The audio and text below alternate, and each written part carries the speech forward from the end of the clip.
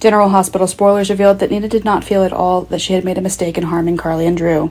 Even if the two of them risked going to jail, Nina didn't mind. Now Nina is only interested in hiding her dirty secrets. Ned was no longer threatening Nina, but the fact that he remained in Port Charles made Nina uneasy. Now Ned lives with a passion for music, and he doesn't remember hearing the conversation between Nina and Martin. Nina approached Ned, even though their relationship was not as close as before.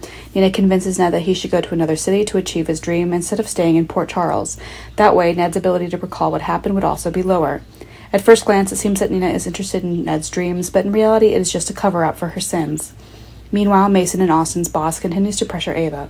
Ava has always hesitated and never followed his requests. She didn't announce the information related to Sonny, so he was very angry. He then ordered Mason to meet Ava and warn her.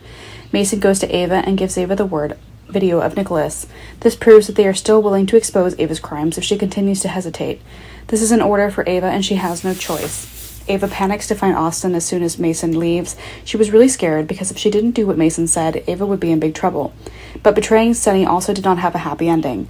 Austin tries to reassure Ava and says he will help her with this. Austin works for the boss anyway, so maybe he can help Ava. In another development, Portia came to confide in Trina. Because of Trina and Spencer dating, recently mother and daughter rarely talk to each other. But Portia is very sad now, and maybe only Trina can understand this mood. Portia tells Trina about the kiss between Curtis and Jordan. Portia is bewildered and thinks that Curtis may still have feelings for Jordan. The fact that he accepted to go back with her was only because he didn't want Trina to be sad. But Trina thinks Portia is misunderstanding Curtis. As far as Trina know, knew, Curtis wasn't that kind of person. He accepted his relationship with Portia completely seriously.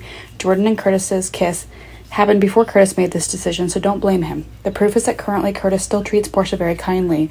His willingness to let go of Portia's deception in the past shows that he respects this marriage, so Portia doesn't need to worry too much.